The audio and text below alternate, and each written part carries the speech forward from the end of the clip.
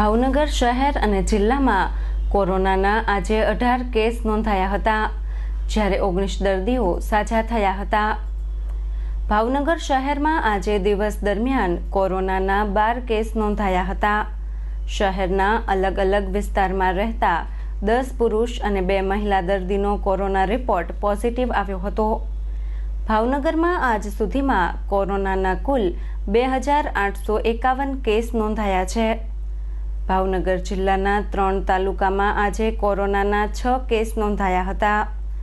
જિલ્લાના સિંહોર તાલુકામાં ત્રણ, ગારિયાધાર તાલુકામાં બે કેસ અને ઉમરાળા તાલુકામાં કોરોનાનો એક કેસ નોંધાયો હતો.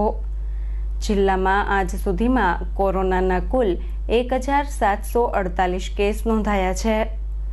કોરોનાની સારવાર લઈ રહેલા ભાવનગર શહેરના ચૌદ અને જિલ્લાના પાંચ મળી કુલ ઓગણીસ દર્દીઓ આજે સાજા થયા હતા.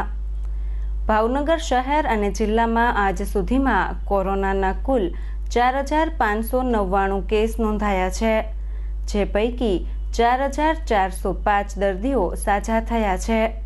હાલ એકસો ઓગણીસ દર્દીઓ કોરોનાની સારવાર લઈ રહ્યા છે.